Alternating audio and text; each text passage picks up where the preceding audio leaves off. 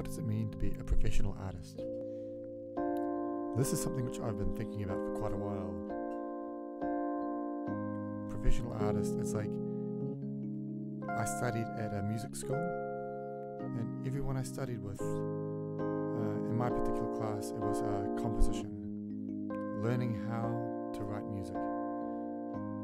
And um, the teachers there, they had uh, creative, they were professional artists, they were teachers, they wrote music, and there was, um, in the school, we were learning how to write music.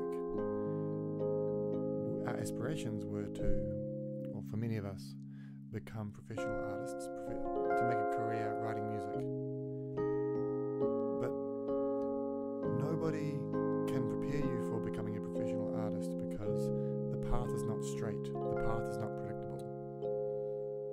become a professional engineer or an accountant or a lawyer or a doctor or a builder, there's a path.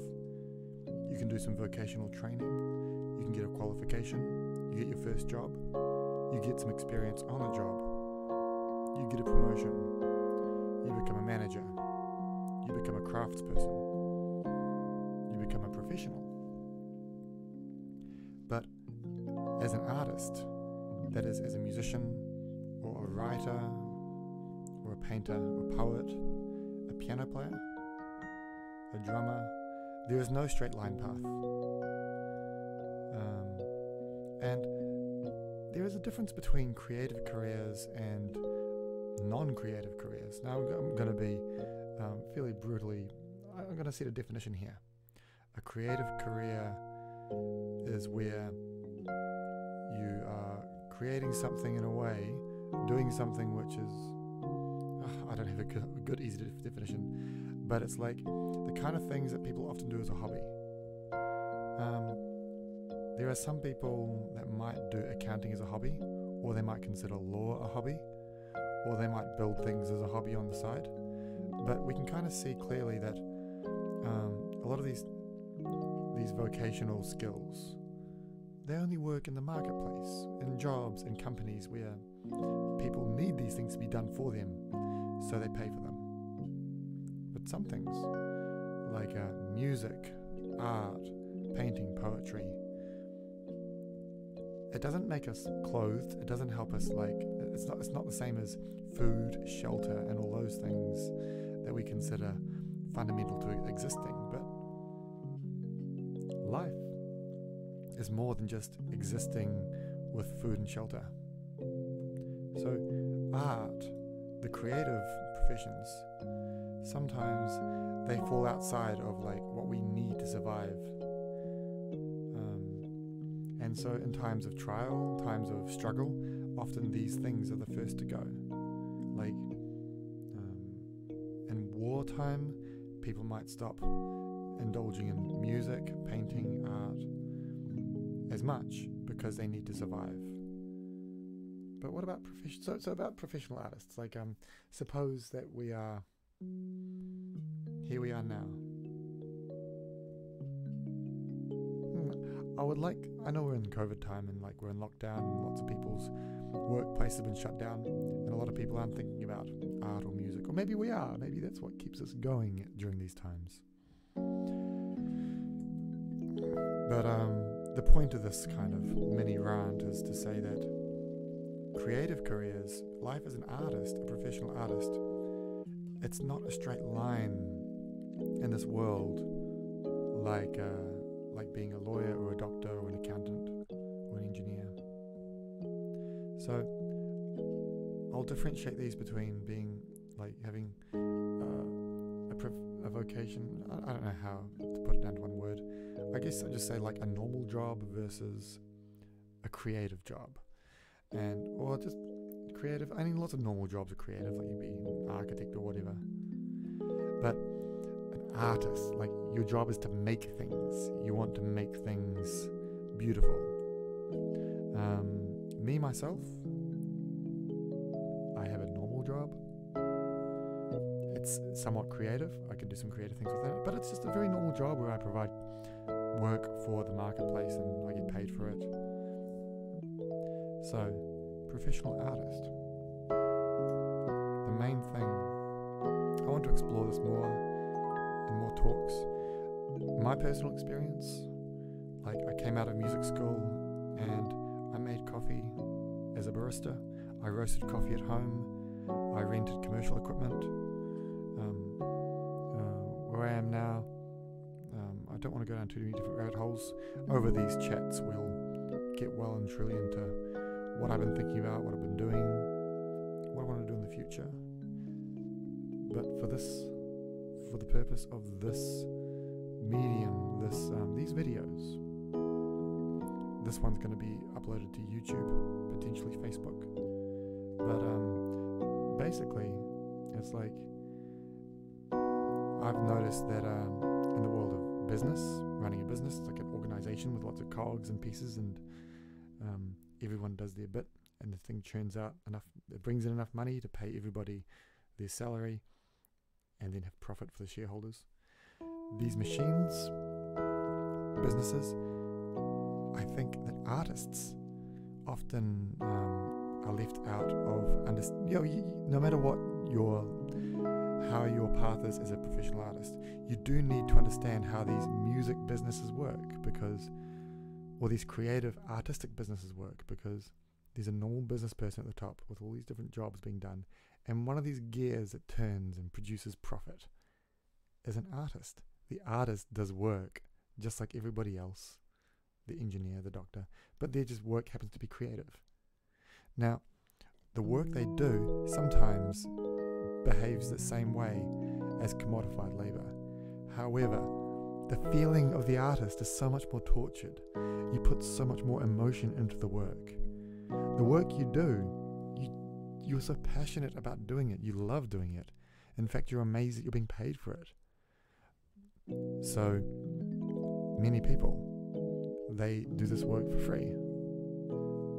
Like, uh, I don't know. A lot of people have their jobs that pays their money, and their creative work is done as as like a hobby.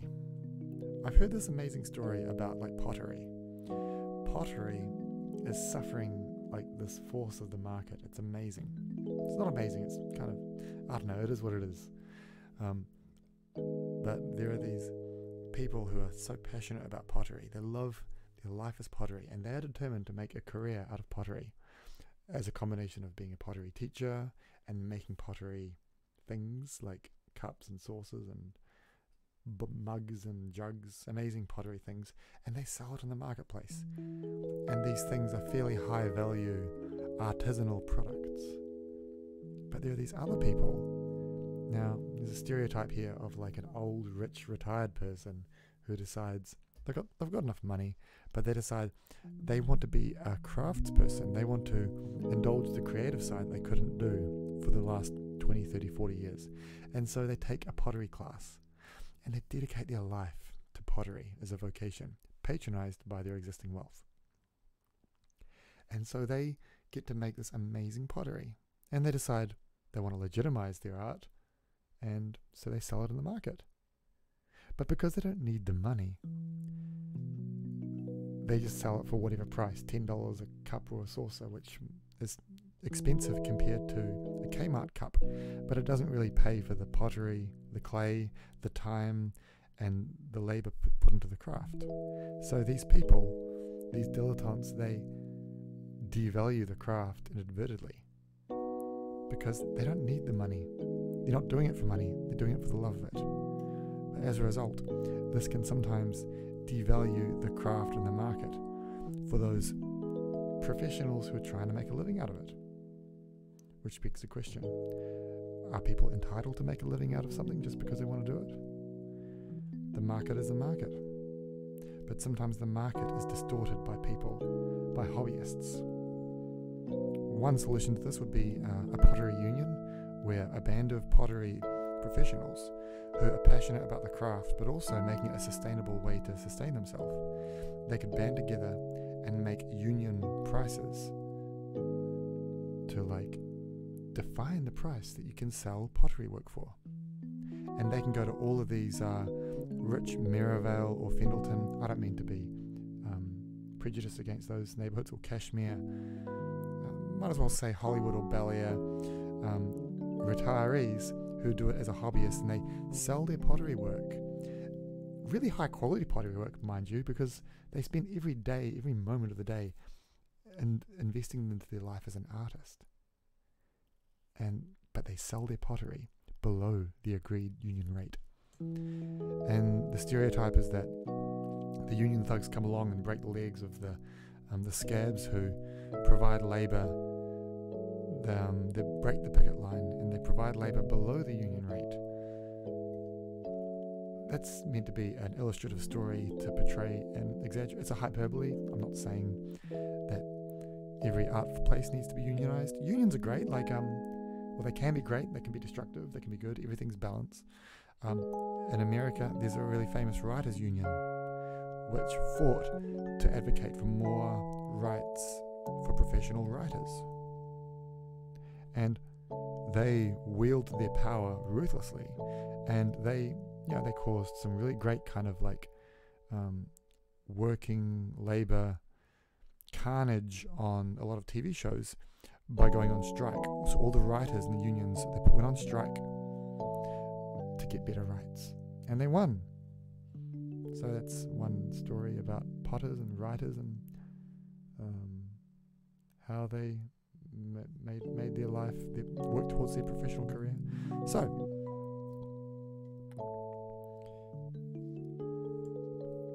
Just to finish up, here's an image. You've got all work and output like goes into the world. And you're either operating uh, supposing you're not a hobbyist who's just doing stuff for fun. Suppose you actually want to like put it to the world. You're either going to be a creative business upon yourself to make things and put it to the world and generate within your own music business or, or creative business or you're going to partner up with an existing business and you will be a cog in their machine now that's a very ruthless analogy you being a cog. No one likes to be a cog, especially if you're an artist. But you either contribute to someone else's machine who generates income, or you become an income generating machine within yourself where you run your own mini business, where you do your own sales and sell to the marketplace. And perhaps some of your customers are businesses, like in the case of um, um, Britney Spears.